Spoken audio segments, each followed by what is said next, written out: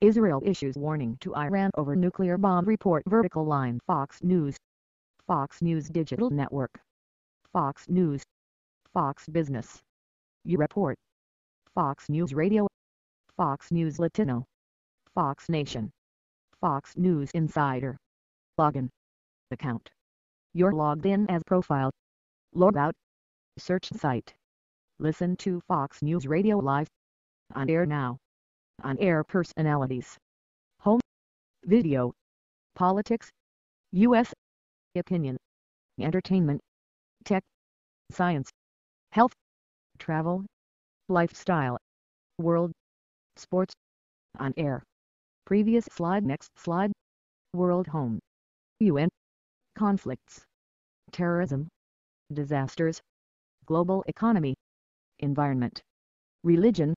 Scandals regions. Israel issues warning to Iran over nuclear bomb report. Published October 26, 2013 FoxNews.com an Israeli defense official says a new report claiming Iran could produce enough weapons-grade uranium to build a nuclear bomb in less than a month is further justification for why Israel will take military action before that happens. Danny Danon, Israel's deputy defense minister told USA Today that Iran is speedily moving to develop advanced centrifuges that will enable it to enrich uranium needed for nuclear weapons within weeks. We have made it crystal clear, in all possible forums, that Israel will not stand by and watch Iran develop weaponry that will put us, the entire Middle East and eventually the world, under an Iranian umbrella of terror, Danny Danon, Israel's deputy defense minister told USA Today. The United States and other world powers fear Iran is trying to develop nuclear weapons. The Islamic Republic says its program is for peaceful energy production, and this week's meetings in part focus on how to scale back its enrichment of material that can be used to generate power or nuclear warhead material.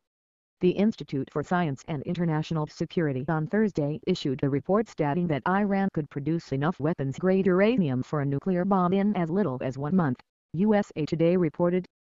The organization's estimates did not include the time required to build a reliable warhead for a ballistic missile.